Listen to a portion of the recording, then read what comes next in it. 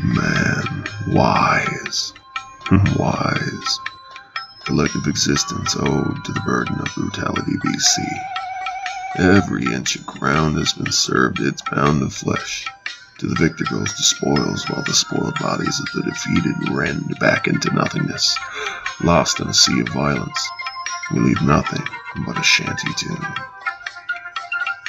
Etch names on stone, hoping to keep holding on to our own, at least for a generation or two. Why has a vicious death not deserved its own due?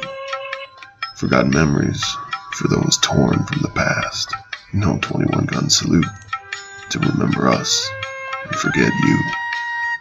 History is built on the backs of wounded warriors, vile depravity, and dark horses. The story is known, but not their own. Fables the unknown expert courses.